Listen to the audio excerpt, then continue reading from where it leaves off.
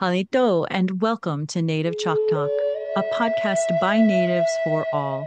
Here we're keeping our Native ancestors' stories and history alive while also sharing with you our Native culture, traditions, and more. I'm Rachael Youngman, a Choctaw originally from Anadarko, Oklahoma. I hope you'll enjoy this journey with me as we learn from our Native American guests. And I hope you'll do me a favor. Feel free to like and share these episodes. I so appreciate it. Yakoke.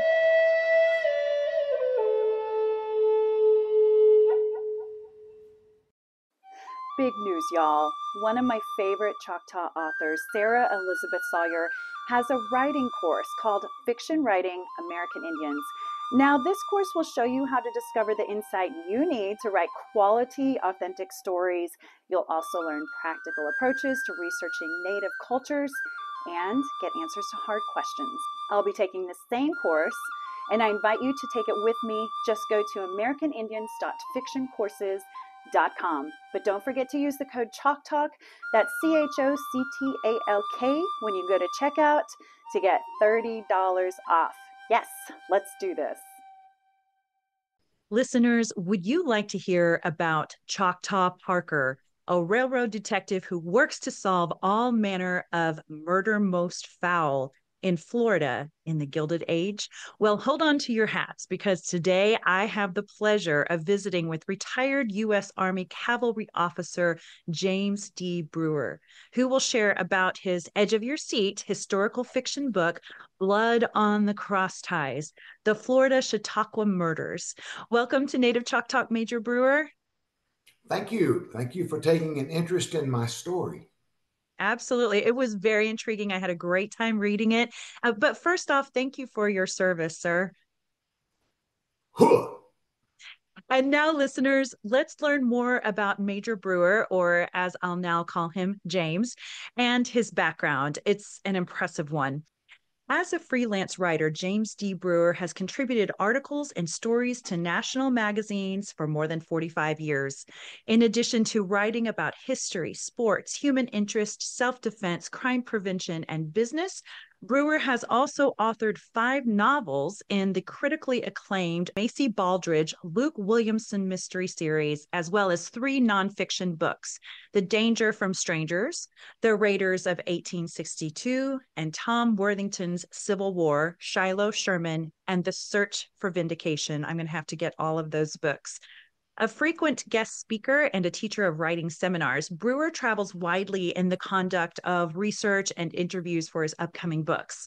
A retired U.S. Army cavalry officer, Brewer has worked as editor in chief of a national magazine and he served as an assistant professor of English at the United States Military Academy, West Point, New York. Wow. Mr. Brewer retired after 30 years of service to the nation as a Department of the Army soldier and civilian, having trained widely in combat weapons and martial arts. His last position before retirement was Chief Requirements and Integration Division, U.S. Army Training and Doctrine Commands, or TRADOC, Capability Manager for Live Training at Fort Eustis, Virginia. Brewer is a member of the musical group The High Road Ramblers, where he plays guitar, banjo, and mandolin and writes original songs in the traditional acoustic sounds of 1950s and 60s folk music, bluegrass, old time country, and rockabilly music.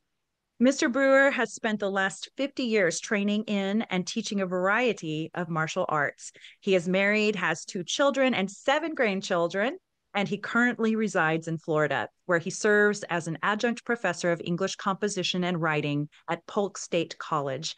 He is currently writing the three book Choctaw Parker Mystery Adventure series.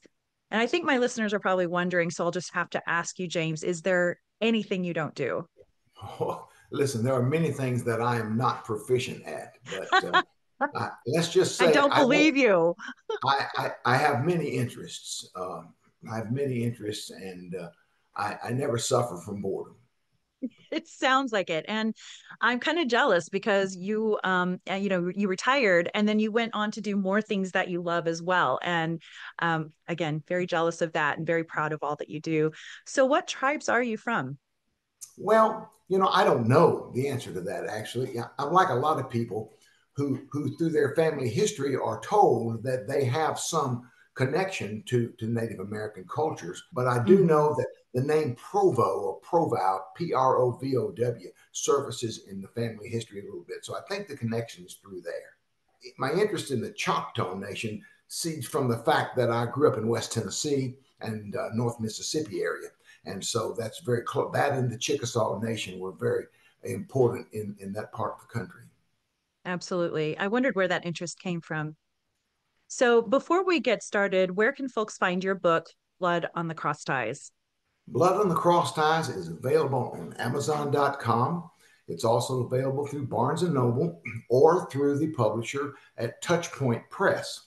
Uh, I can announce to you that this month, later toward the end of this month, the audio version of Blood on the Cross Ties will be available on uh, audiobooks.com for those of you that want to put about eight hours of good listening in while you're driving cross country or something.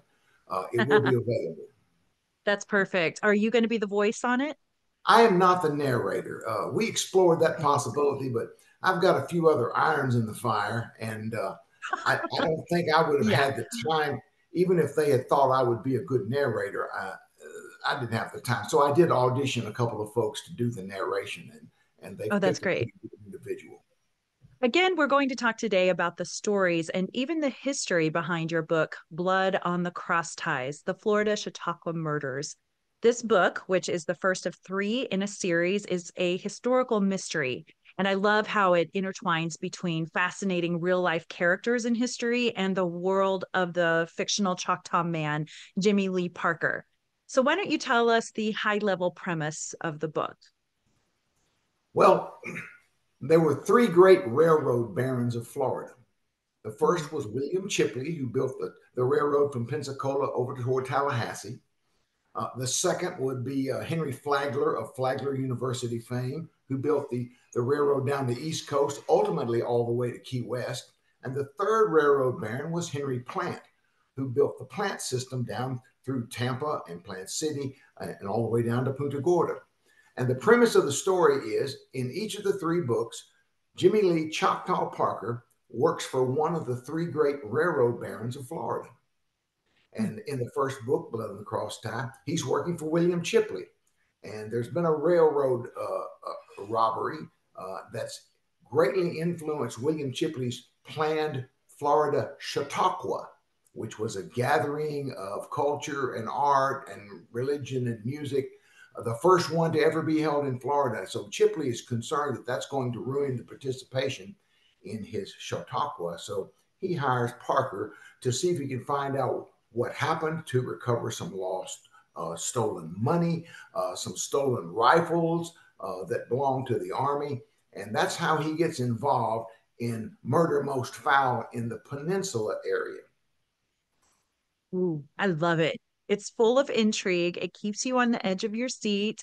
And I would say mm-hmm. that it's also good for um, younger folks to read as well. So I have a lot of homeschoolers that listen to my show, and I think it would be great to um, have them as part of kind of there's it's historical fiction, so there is history mixed in there, and that's one of the things that I do love about this book was learning bits of history with the railroad, as well as the lawlessness and gambling days of the cowboy to me, it's important in historical fiction. The first thing you've got to do is tell a good story. Yes. And if in the process of telling a good story, folks learn a little history, then that's a bonus. If you just want to tell history, then you write a nonfiction history book. Yeah. you've got to have a good story with rich, engaging characters. As, as uh, I often say to people in writing groups, you get your characters in trouble and you try to get them out. And that creates oh, I love it. story. That's fantastic. Listeners, you're going to find yourself smack dab in the middle of a time when multiple races were intermixing, or in some cases, trying not to intermix. There were prejudices coming from multiple angles, and there's this sort of angst that trouble was always brewing, including violence from the Ku Klux Klan, in fact. Also brewing were topics such as politics, religion, slavery, the freedmen, war, and the North and the South. So the story really centers around what was going on with the railroad and its incredible expansion during the 1800s, connecting all of these people and races and culture and places. And the railroad does also tie, which I think is very interesting, into the Gilded Age. Would you share with us a bit about the Gilded Age and how the railroad and that age in history kind of go hand in hand? Well, the steamboat industry, which I featured in my first five book mystery series, dominated after the uh, before and shortly after the Civil War. But as the railroads began to expand in the 1870s and 80s and 90s, that became the predominant way of moving people and goods. Steamboat world began to decline. We have time zones today, Rachel, because of railroads. You oh. see, that's where we came with, up with time zones.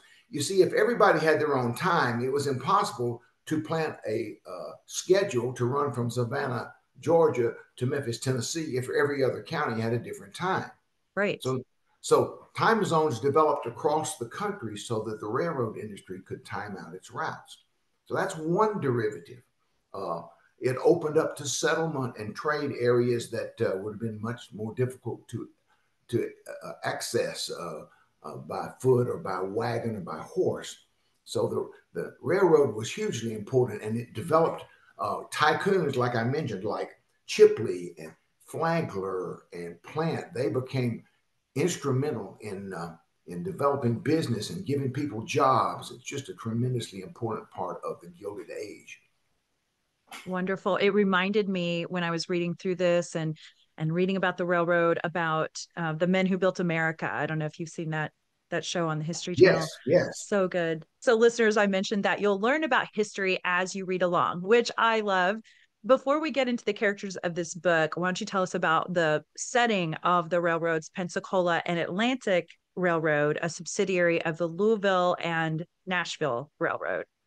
Okay. Well, you see, the L&N, the Louisville and Nashville, was one of the major railroad lines in the 1880s, 90s, and beyond. And William Chipley was uh, operating as the president of the Pensacola Atlantic Railroad. So he's the guy, the driving force behind building the railroad from Pensacola, Florida, across the Panhandle that eventually got over to Tallahassee.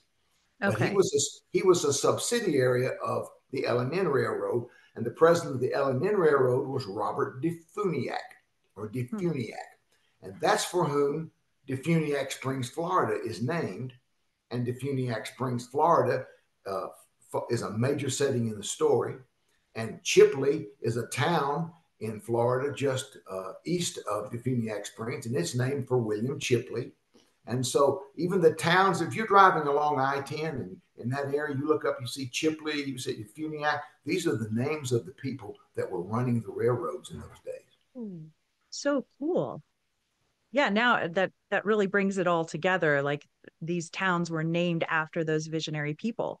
If a city if a city was growing but the railroad bypassed the city and went to another city it's the city that got the railroad that grew up and expanded and the other one ah. usually vanished and disappeared. So true isn't it? And same with prior to that the rivers where you'd have a lot of exactly. boats coming in and interesting so, as you mentioned, there are some real life historical figures within the book. But, James, you've also got some folks you wrote into the story who are fictional characters. So, I just kind of wanted to point those out. Tell us about the hero of the book, Jimmy Lee Parker, also known as Choctaw. Jimmy Lee Parker is a man walking a tightrope between two cultures. Mm-hmm. Uh, he's half white and half Choctaw. His mother was a French Arcadian woman who was found shivering in cold along the Mississippi River mm. by Choctaw's father, who took her in, saved her life. She became his wife, and Choctaw Parker was born. So he is, he would be called a half breed. Right. In other words, half white, half Choctaw. And as a result of that, and many people can relate to this, many people I've talked to that have read the story who come from biracial families or situations where they're they're pulled between two cultures. That's Parker. Yeah. He's, he's, he's too white to be fully trusted by the Choctaw and too Choctaw to be trusted by the white. Mm. And so he's in this in this realm of between the two where he wants very much to embrace the cultures in both areas, but he's constantly running into obstacles.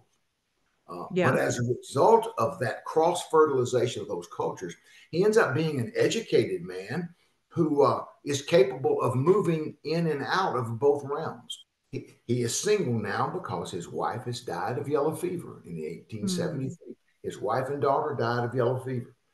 He was depressed. He couldn't could carry on. He got a job as a track walker. That's the person that moves between one city and the other alone, so he didn't have to be around anybody, and has to have an eye for detail to see if there's any problems along the track. because he did that well, and because he did that with with detail and, and attention, he got a few jobs investigating small crimes around the railroad, and suddenly his name came up, and before you know it, he's being hired by Robert DeFuniak, mm. president of the L&N, and then Chipley. And then you've also got his trusty sidekick, Chub Moody, who I found to be so lovable throughout the book. Tell us about him. You know, Chub, Chub got dealt a bad hand in life. Chub, Chub was living with his parents, uh, and they ran a, a, a, general store in, in Alabama, just north of Birmingham. And uh, they refused to side with the Confederacy during the war or the Union. They tried to stay neutral, and what they received for that was they got ravaged by both sides. They had mm. their hmm. property stolen. They had their their building burned down. His his his uh, mother is killed. His father dies later, and Chub, at a young age, is, is on his own. He became what he would call a general flunky and just kind of move from job to job. Mm. But the thing about Chub that's interesting, he's one of those people that can read something or see something one time and he knows it, he remembers it. People might call that a photographic memory today, but he's got that capability. It gives him kind of a unique aspect to his life, but he's a jovial kind of fellow, loves music, loves to sing, uh, loves to sing along when Parker's playing the fiddle. And Parker plays the fiddle because it's his way of escaping from some of the challenges he deals with. That fiddle was given to him by his mother. And so he wow. treasures that greatly. So that fiddle appears in all three of the stories. I was going to ask, yeah, that kind of storyline follows through all three books. Absolutely. Absolutely. Chub is competent on his own, but he loves Jimmy Lee Parker. Parker's the only man that ever made him feel like he was worth something. Yeah, and and obviously Parker trusts him immensely. Very much. So they make a good team. And then you've got Matilda Vance, which is a bit of a mysterious character. What can you tell us about her? Okay. Now, Matilda Vance's story is interesting because I'll tell you where the character of Matilda Vance came from, because I think it's important for people to know. My great grandmother's name was Matilda Vance. Aww. Now, Matilda Vance, husband died during the war, just like the character in this story, and she moved west uh, to Missouri, and but she died of tuberculosis in 1873. Hmm. So one day I was formulating this story, and I asked myself the following rhetorical question: What if, what if Matilda Vance had not died? What would hmm. her life have been like after the war? And right. you know, women women didn't have a lot of opportunities right after the Civil War. You could do one of about four things. You could remarry somebody with some money maybe that you didn't love, okay, just to have the security. You could become a seamstress or take in wash. Mm-hmm. Uh, you could maybe look after someone's children, or you could become a prostitute. And that's what a lot of women, not the latter one necessarily, but those were basically the four choices you had at the time. Yeah. Women didn't have opportunities. I said, right. well, what, was, what would have become of her if that had, if she had lived? So she becomes a very adept gambler. She becomes a game called Faro. She plays poker and other games, but she's very similar to an actual historical figure by the name of Lottie Deno, who was very oh. popular out west as a lady gambler. Interesting. I didn't know that that was the background of Matilda. So you kind of merge these two stories together, Absolutely. but something that's very personal to you as well. And as you, um, when I was looking at kind of the history that you were following throughout, you know, weaved in throughout this book, I went and started looking up all the characters, the real, the real life characters that we're about to talk about in a second. Yeah. And oh my gosh, I went down such a rabbit hole. It was so much fun. So let's delve into that a little bit. So there are um, those three fictional characters, and then Matilda is connected to the real life person, George Devol what did you learn yes. about George's story and history as you incorporated him into the book? I learned about George Devol back in the 1990s when I was researching and writing uh, the five Macy Baldrige, Luke Williamson Steamboat Mysteries. That's where I first came across Devol. And Devol was the king of the riverboat gamblers. this, guy, this guy was well, he's got there's an interesting book called 40 Years a Gambler on the Mississippi. I okay. suggest that as, as reading for anyone. Write it down, y'all. Interesting. 40 Years of Gambler on the Mississippi. It's his autobiography. And Devol was a hard headed, literally guy. He would get into fights and headbutt people. He was a hard, he was a hard headed guy. He, uh, but he, and, and, quite a rounder and uh, not always on the up and up with his gambling. But okay. one thing he wouldn't do is he wouldn't cheat preachers. He, hmm. he had some sense of values if he beat a preacher out of his money, he'd usually give it back to him.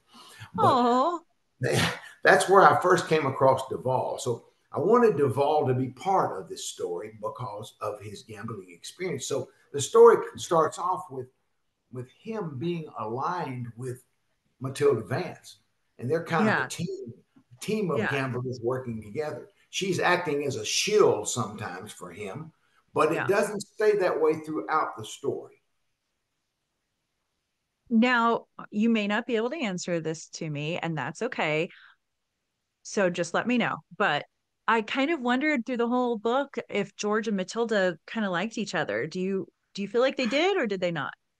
Well, you know, I don't want to say too much on that. Uh, I, think, I think George may have liked Matilda maybe a bit more than Matilda liked George from mm. a romantic standpoint. They right. were business partners. They were basically business partners. Yeah. Well, and she seems like a very independent woman. So maybe she's like, I got my own thing going, George. So she, she might she might say uh, she might say that. Yeah. okay, so let's hear about the real life character William Chipley, who hires Choctaw Parker to look into some robberies and murder sure. around the railroads and trains. Well, you know, Chipley uh, I talk about it in the book. Chipley was the actual president of the railroad being built from Pensacola. They laid over 200 miles of track over months and months, and it was quite a challenge, a physical challenge to do that. He uh, he had political aspirations, though. Uh, Chipley wanted to host that first Florida Chautauqua because yeah. they, were, they were traditionally held up north. They began in New York, and uh, people would go to them, and, and it was a great cultural event. And they would stay a day. You could get a pass for a day, or you could get a pass for a week, or you could get a pay and stay the whole month. And people either stayed in cabins or tents on the ground. And he thought, you know, if they could do that in, in the summer in New York, why couldn't Florida do it in the winter when everybody wants to come down here anyway? So it right. was really one of the opening salvos in convincing people to come to Florida as a tourist destination, destination in the winter. So Chipley wants this to come off. He builds a grand new hotel in Defuniak Springs just to service the Chautauqua. And that figures into the story, the development of this hotel. Uh, and then Chipley later ran and, and was successful in, in, getting into the Florida State Senate. Hmm. And uh, he had aspiration beyond that. He ran for U.S. Senate and he lost by one vote. Oh my gosh. So don't ever let anybody tell you that one vote doesn't matter. True that. Because he would have been a U.S. senator, but for one vote. Hmm. And uh, he eventually died in Washington, D.C. Uh, about 1897. I assume he died wealthy as well, right?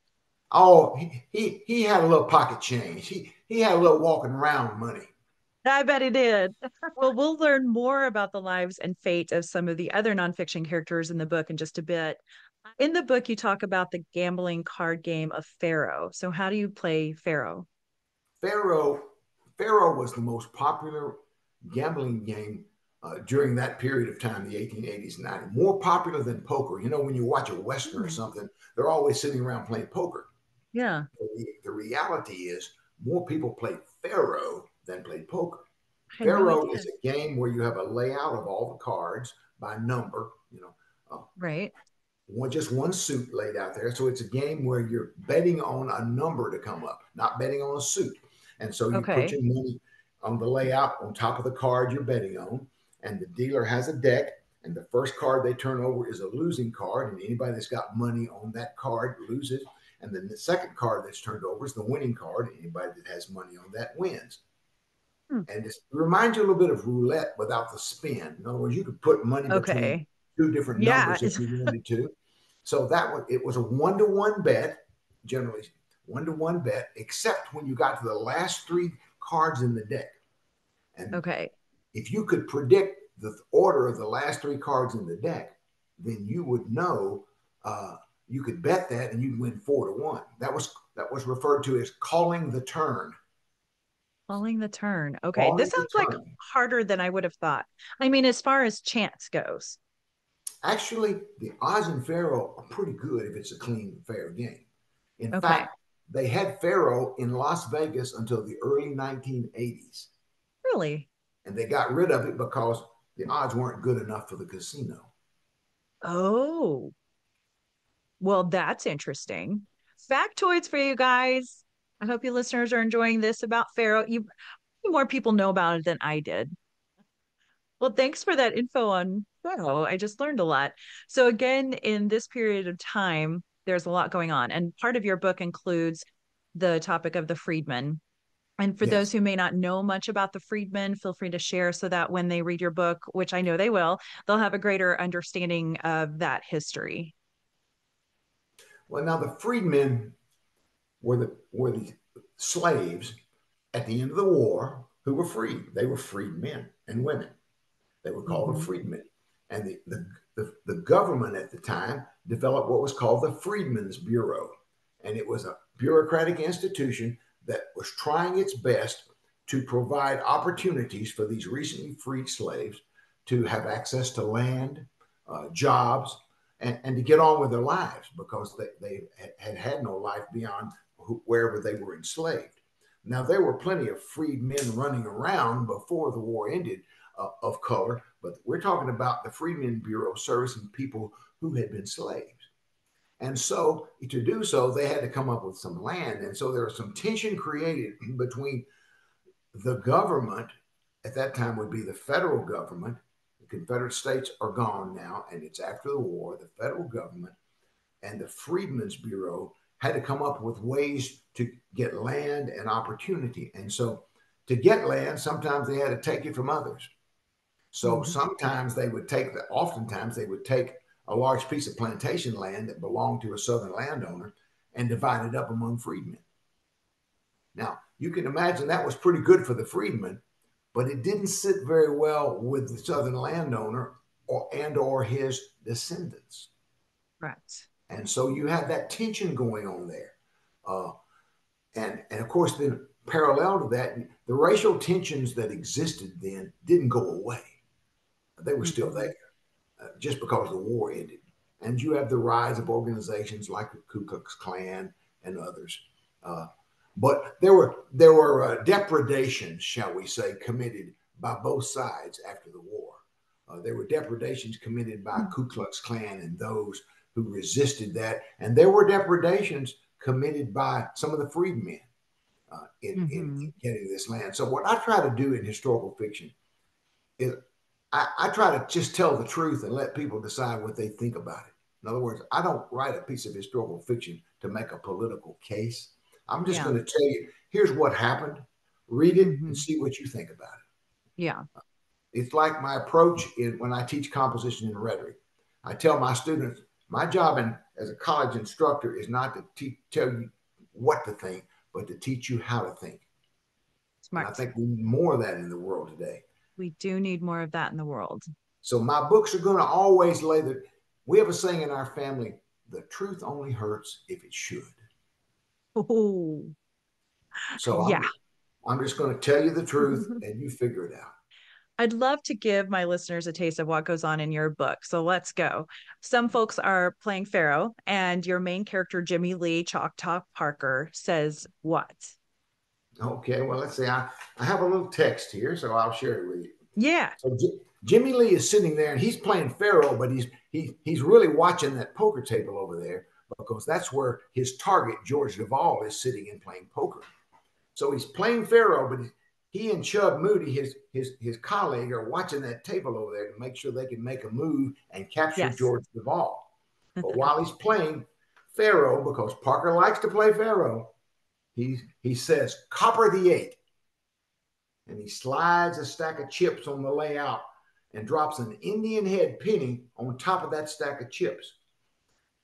The man he's watching across the room was George Devol, dressed in an immaculate white shirt dark green ascot, and a patterned vest. Devol, one of the most proficient gamblers working the railroads and steamboat lines, was holding court in the poker room at the New Continental Hotel. And over at the poker table, Devol laid his cards down and raked in the chips as his opponents shook their heads and cursed their luck. They're joined at the faro table by a, a lovely auburn haired Matilda Vance, one of the slickest card players in the Southeast. Call the turn, the Faro dealer declared. Parker consulted an abacus looking device that tracked what cards had been played. And he said, Eight, Jack, five. And he slid his bet out on the layout. The dealer turned the eight of spades, the jack of diamonds, and the last card, called the hawk, was the five of spades. Winner, winner, four to one, the dealer said as he paid Parker and began shuffling the cards. So there you go. You know what? I think you should be the voice of your own book. That's pretty uh-huh. good. I loved hearing it in your voice. That was fun.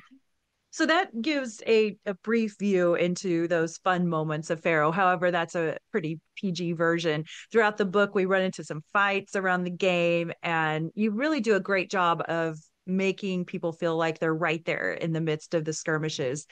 We'll be back after this quick break. Are you looking for the perfect gift for your significant other, your bestie, or even yourself? You know you're worth it. Luxury soaps, lotions, and lip balms from Baker's Bar Soapery are 100% Choctaw crafted, and they make the perfect gifts. This work of art is their signature turquoise soap, and it's made to look like Sleeping Beauty turquoise. Do you see this gold veining throughout? And the gold marbling on top? Love it. Next, check out this apple mint custom fragrance oil soap called Say Their Name. And all proceeds go to the missing murdered Indigenous women Choctaw cause. You'll only find this blend made specifically for this soap. And yes, these are made with goat's milk, which leaves your skin feeling soft and supple. So load up on these Choctaw soaps made by Tiffany at Baker's Bar Soapery at thebbsoapery.com. But be sure to get 20% off when you use the code Native ChocTalk, that's all caps, when you spend $25 or more. Treat yourself to the luxury your skin deserves with Baker's Bar Soapery.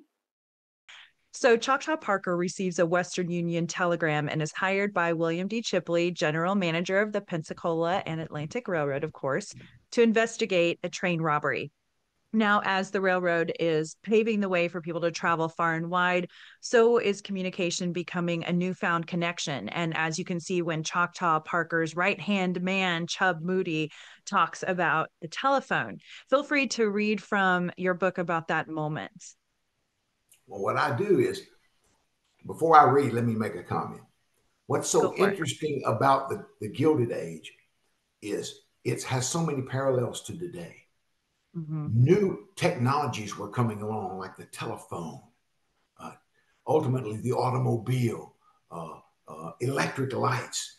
These emerging new technologies were changing people's lives. Kind of sounds like today with technological adv- advances and AI on the horizon and all that's going on in the world.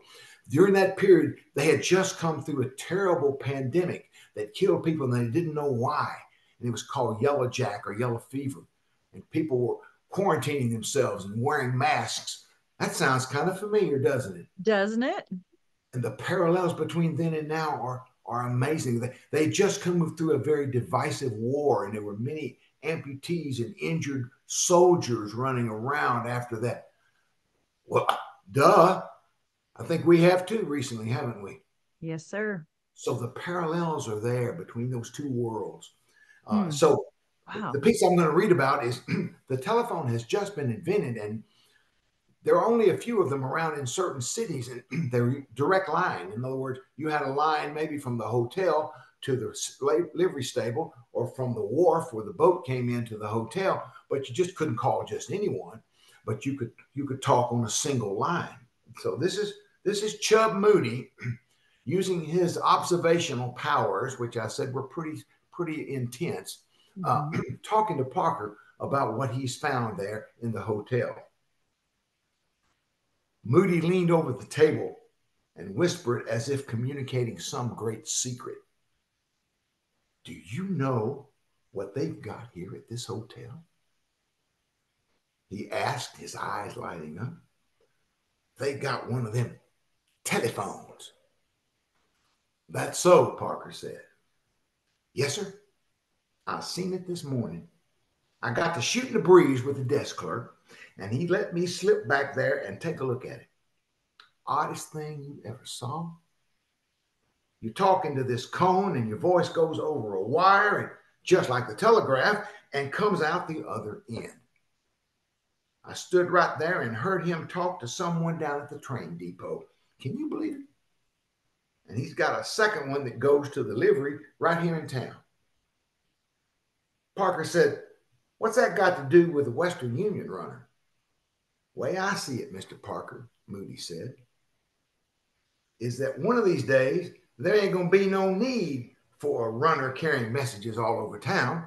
I'll bet you everybody will have one of them telephones.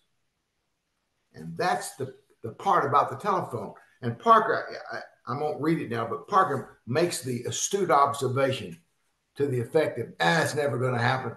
Nobody's going to want to talk through a box when they can talk to each other. I love that. I love that because we forget, we take it all for granted. And again, your historical fiction pieces and they're bringing in what was going on with innovation at the time. This really speaks to that. Okay, so there are items that were stolen that initiated this whole investigation into the train robbery. So what were the items in the book that that were stolen? Well, money first of all, payroll. A payroll was stolen. Uh, the amounts uh, I'll just leave you to find out about in the book. Uh, it was a payroll ship from the First National Bank of Palatka, Florida, because you see, at that time, there were a number of banks around the country who could print money rather than the US Mint doing it. Banks mm. could print it, and they were called national banks. So this payroll is stolen. That's one item. Another item that's stolen are trapdoor Springfield rifles. Trapdoor Springfield rifles. Uh, mm-hmm. Excuse me just a moment. I have a okay. message. Okay. My chief financial officer had just arrived. Okay, got it.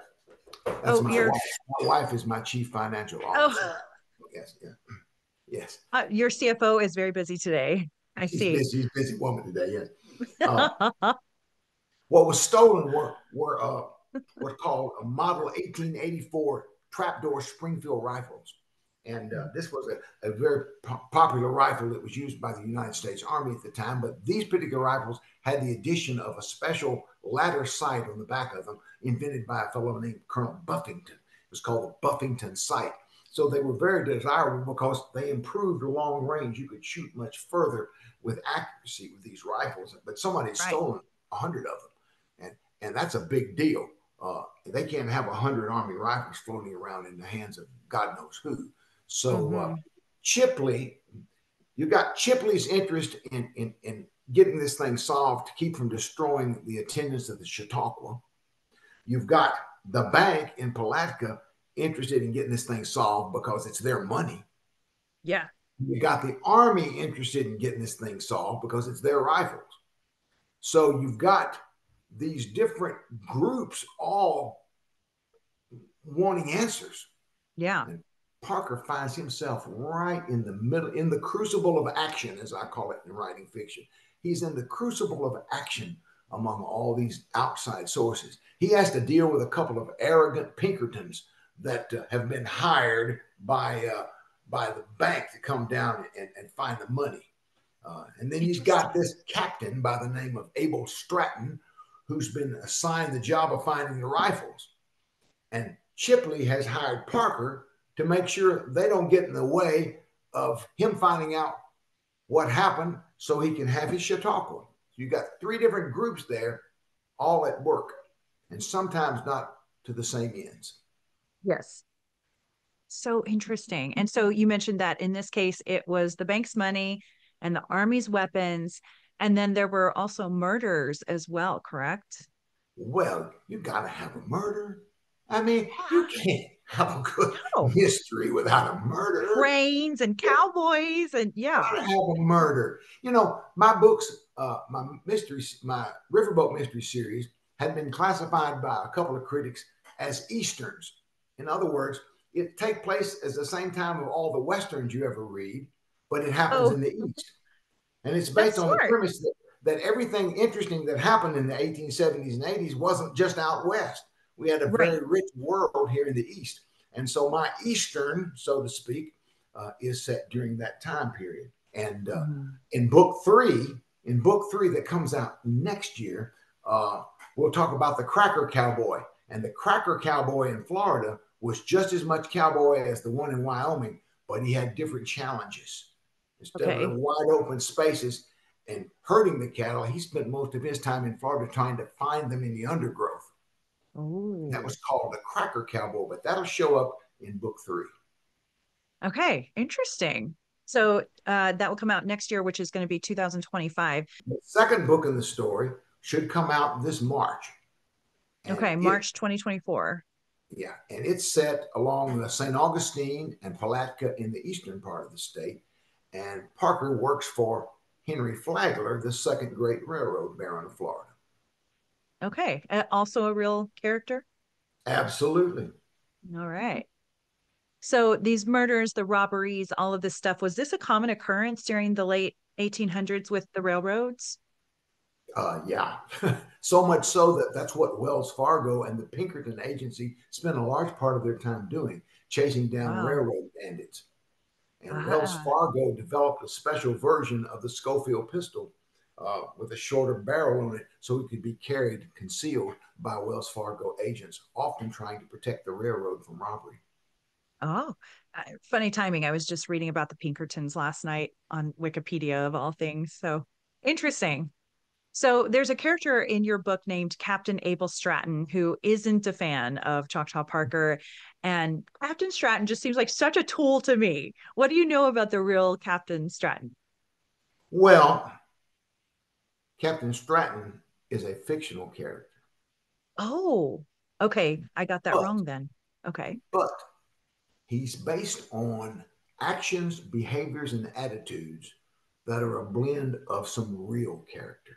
In other oh. words, he becomes he becomes an amalgamation, if you will, of some various characters through history. Uh, the arrogance, for example, the arrogance of Custer. Yeah. I don't need those Gatling guns. I got this under control. And then he goes up there and we know what happened with that, right? Yeah. Uh, so the arrogance of Custer, the, the, the hatred shown towards some Native American people uh, by by some of the army people out there that were operating against them. Uh, and we know of things that happened historically. You know, I won't relitigate all of history, but we know it's there. Uh, what I did find interesting and what I try to portray in the story, I think it comes out a little more in book two than in book one. It seems that in history, and some some will disagree with this, but it seems in history, in the South, the the Native American or the red man was assigned a nobility that the black man never had. Hmm. But when you got out west, the black man was assigned a nobility that the red man didn't have. Interesting. So I'll leave that for people to think about. Ponder yeah. whether you agree or disagree with that. Yeah. But people huh. treated people differently. on different mm-hmm. parts of the mm-hmm. country. And Abel Stratton is this guy, you know, he just he can't find anything good about Parker. Right. Parker's people, Parker's hair. He insults him all the time. You know, he yeah. is mission driven. Now he's positive. He believes in his mission, and he don't want anything to take away from his mission. And as a soldier myself, I have to applaud being mission specific. You know, yeah. and that's good. But you know, he he climbs the ladder of success using people for the rungs. Yeah, and uh, you know that comes at a cost. So again, Choctaw Parker is a railroad detective, and I'll read a portion of your book where he's doing his investigation. Argyle train stop is a few miles east of DeFuniak Springs. And there still is a, a, a, little area called Argyle there. And that train track runs in the same path that it did then. And when I wrote this book, when I write, I go to the locations.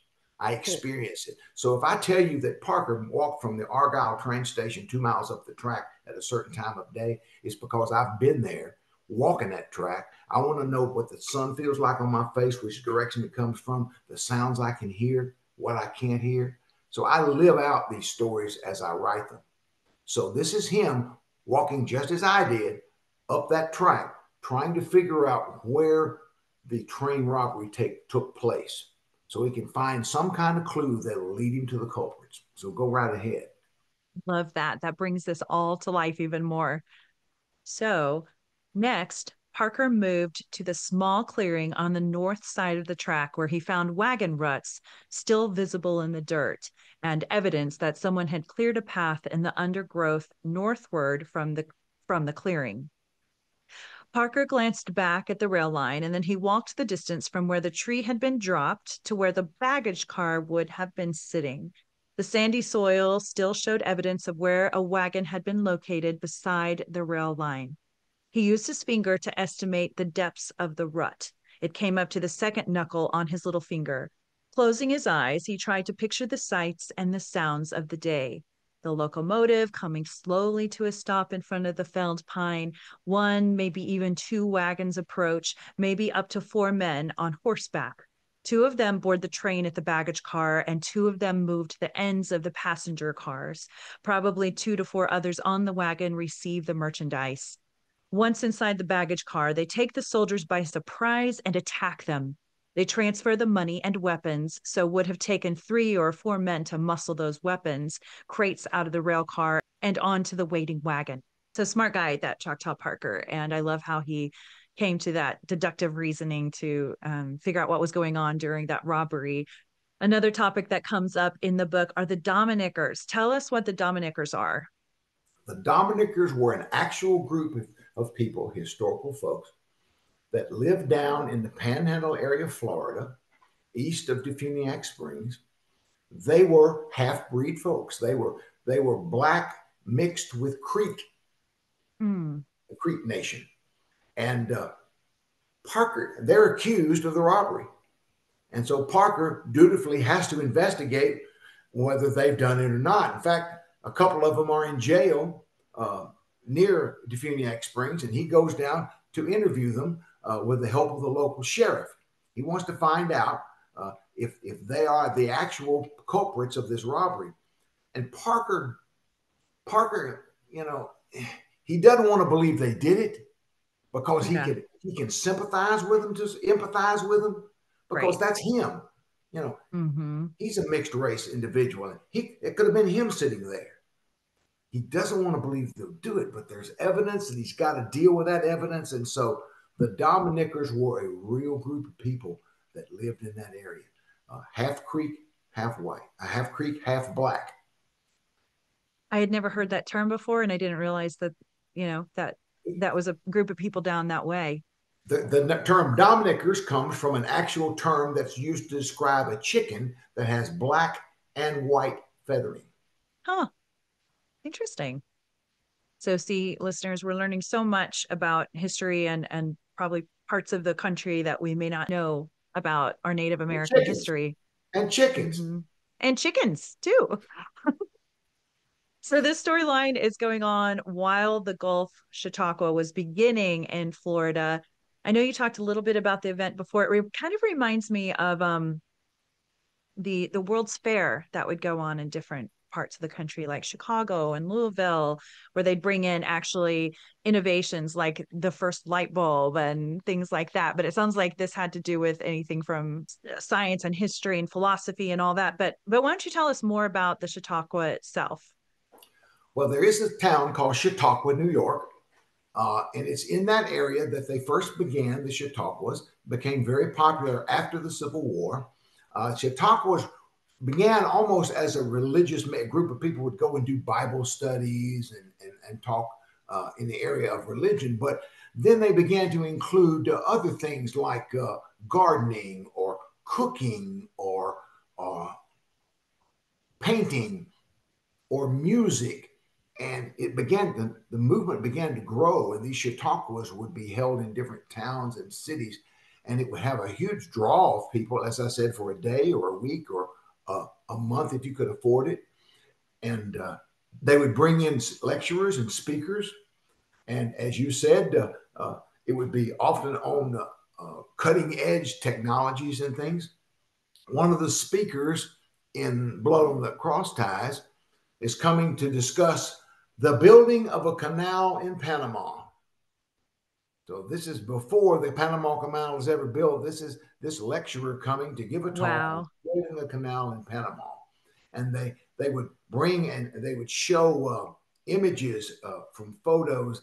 They had a an arc light capability. It looks can look like a, a slide projector, but nothing sophisticated like that. But they could put images in front of it and throw them up on a on a sheet, and you could see pictures of out west or pictures from Egypt or overseas. It, it was a great cultural event for people to participate in, and it had a great draw to it. I think of it as like a conference today. If you went to yeah. a, a conference. Yeah, absolutely. And and it was a way for people to be able to see things um, in person and in some cases touch the objects instead yes. of just having to read the newspaper. On that same line, in your book, Chipley shouted, Florida is on the verge of great expansion and settlement. I envision our state being a winter destination for people escaping the cold for decades to come. He pulled a brochure from a top desk drawer and held it up.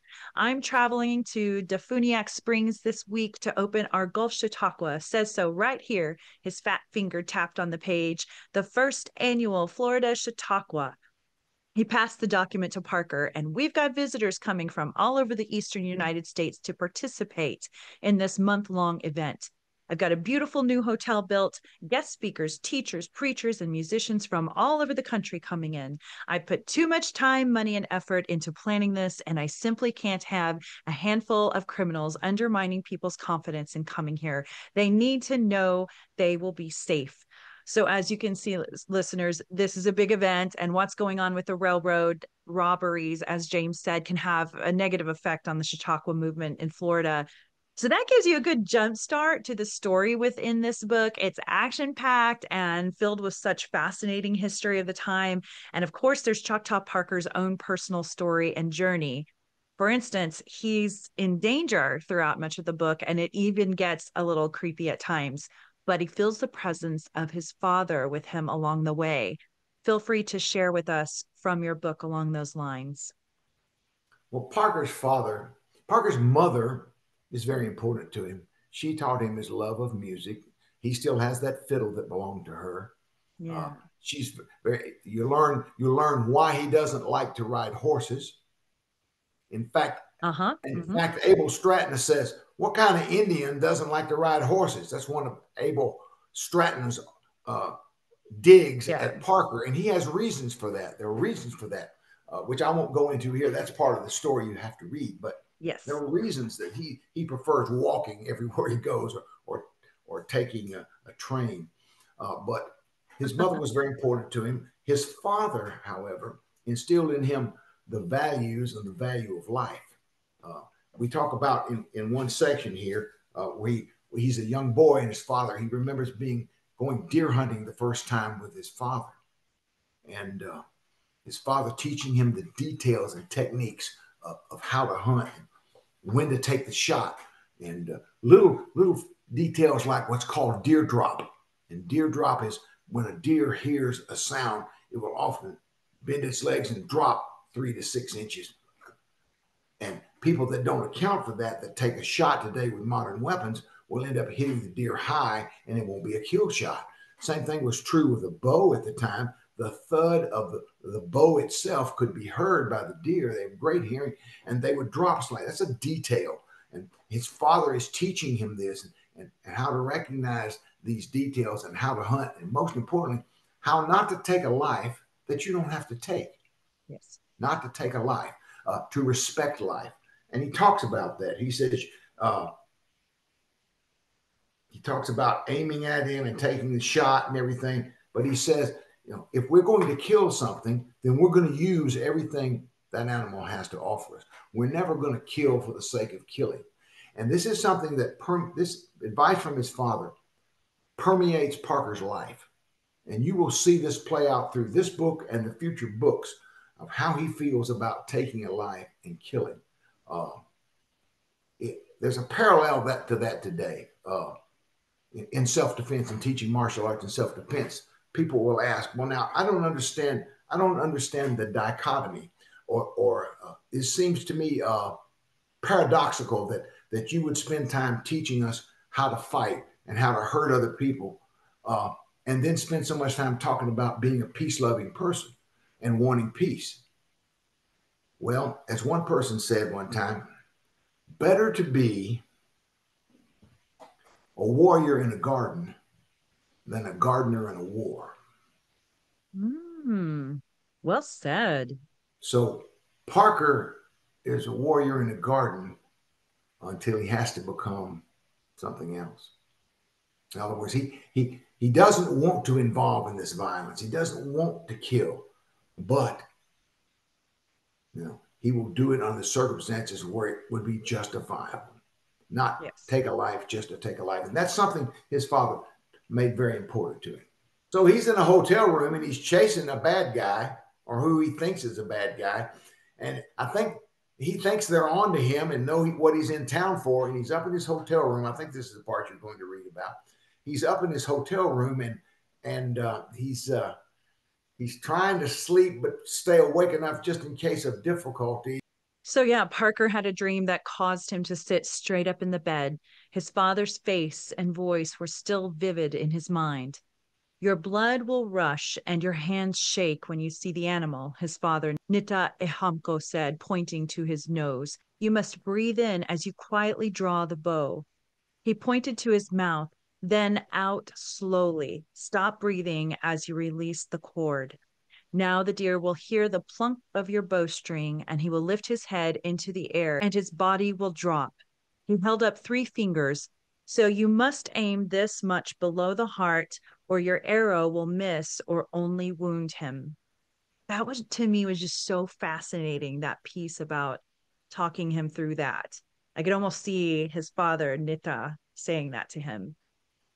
I also like how Choctaw Parker's father guided him and taught him about, as you said, killing just to kill is not their way and how to respect the animals they killed for food and so on. He was a good man.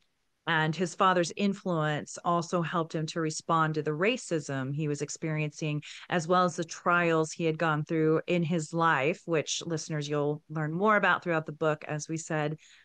Now, there are a couple of scary characters who were real life people in your book. I don't want to give away too much from the plot, but let's talk about high level about a couple of those people. Tell us about Hogtie Terrell and why he was called Hogtie. Well, Hogtie Terrell, I refer to it as Terrell, but it could be Terrell. Okay. He's an enforcer who works for one of the main culprits. I don't want to give too much away here. One of the main culprits in the story. Uh, mm. He kind of leads a band of criminals and thugs who are intimidating landowners, intimidating some of these freedmen who've been given land. Remember, I talked about that earlier. They've been given land and they think life is going to be better now. Now they've got some of their own people coming around, intimidating them and acting like thugs to steal their land and give them to large landowners for the uh, for the trees and, and, the timber and the turpentine that they can mine from them. So Hog Tie got his nickname because that's what he does to people. Oh. Uh, when they don't comply, he hog ties them, which is to tie your hands behind your back and then your feet back behind your your back and then your feet to your hands. And he just got a reputation for hog tying people uh, who didn't comply with the demands that were being made on them uh, to separate them from their property. It was a rough crowd. It was the Wild East. It was the Wild. Oh, I love. I love that you said that. Well, and whatever happened to him, this hog tie guy? Well, in the story, uh, it says that uh, he gets his comeuppance. I, I, I really don't want to say that right now because that might give away too much. Oh, okay. people to be able to fully experience uh, uh, his comeuppance, if you will. Oh, yeah. Then there was Cyrus and Laura Riley, who I found to be so sneaky and sinister. Just give us a taste of what they were up to in the book. You know, some people people aren't always all good or all bad. Uh, people will do the wrong thing for the right reasons. Uh, they may have purity in their in their motive, but be depraved in their action. Mm-hmm. Uh, and certainly, uh, Cyrus uh, is one of those people who he wants to see uh, the freedmen treated well, but he also wants to prosper in his business and he wants a little power and he wants a little influence and he wants a little control and he if he has to grind the little people under the ground to get it well then that's what he'll do uh, in in book three there's a character who claims he's a quote man of the people mm-hmm. uh, but he behaves like uh, one of the wealthy aristocrats while confessing to be a man of the people. And I think Cyrus has a little bit of that in him in book one, too. Uh, he, he has the right ideas, but how he executes them just grinds others underfoot. So you have two more books coming out, and it sounds like they'll include Matilda Vance, Chub Moody, and Jimmy Lee Parker, right? Well, yes. I mean, what's going to happen here is right. Uh, the three separate at the end of book one. You know, you know they go their separate yep. ways. But you know, Parker gets hired by the second great railroad baron of Florida about a year, year and a half later, Henry Flagler. Henry Flagler is building the Ponce de Leon Hotel in St. Augustine, Florida. At the time, the, the, the crown jewel of hotels in the United States. Ooh. And he's, he's in the process of building this now. And he's had to buy out an entire railroad just to get all the supplies down there. And he's running into some, some challenges from the local people. Uh, a lot of people want the railroad to come in there and do that. There are people who are threatened by that because not everybody's happy about it. So he's had to hire Choctaw Parker uh, uh, for security purposes in the building of his, his building in his railroad. Well, Choctaw quickly realizes when he takes this job that it's more than he can handle. So who does he reach out to? Well, he reaches out to Chub Moody, who Absolutely. reaches out to Matilda Vance, uh-huh. who's off running her Faro games. But in book two, another character comes in, and that's Matilda Vance's son, Ed. Oh. Edgar. Okay. And Edgar has been an apprentice to a doctor in Southern Illinois, but uh, he's uh, trying to figure out where his mother goes. He doesn't really know what his mother does for a living. She's told him that, oh. that she, she's a fabric buyer, and uh, he, he he finds out the hard way that she's not. And there's a lot of tension between Matilda and her son when he comes to find her, and he gets involved Uh-oh. in the investigation. So that's that's where that one goes. Oh. that comes out, like I said, in March. That's the plan right now in March. And the third book is set in Tampa uh, and Arcadia in central southern central Florida, where Parker is hired by the third great railroad baron of Florida, who is Henry Plant, for whom Plant City was named. Mm-hmm. And the Plant system was a major Eastern railroad system that serviced all kinds of folks. And Plant is busy trying to cover his tracks in Tampa to keep people from figuring out that he needs to buy the land that leads from Tampa out west to Brushy Point so he can have a deep water port for his steamship industry. So he's oh. trying to conceal that, and people are trying to find out about it. And there's murder. Blood at the Whistle Stop is the name of the third book. So I'll give you the names. The second book in St. Augustine Pulaski is called Blood on the Trestles Murder in Florida's Ancient City.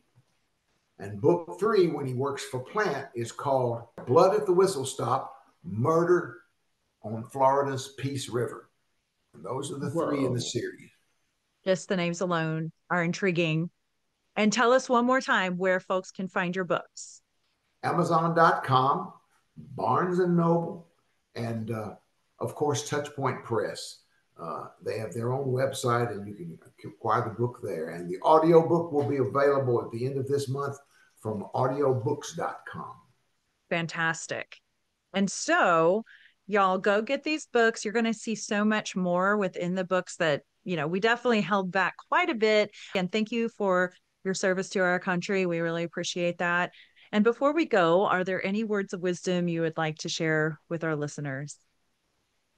Well, yeah, I, I want you to read, first of all, not, not just my works, not just my books, but read in general, study history, learn from it. Uh, don't be afraid of the truth. And I hit on that a little bit earlier.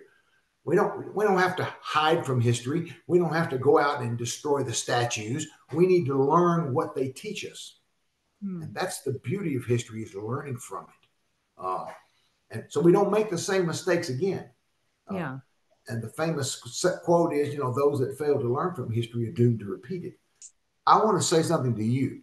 I appreciate the fact that you dug deeply into this story. Sometimes I do podcasts and interviews, and people kind of skim the book and ask them general questions. But you know, uh, you got down to the nitty gritty. You really Aww. paid attention to the story, and I, apl- I applaud that. that. That's wonderful. That's what people need to hear. Good work.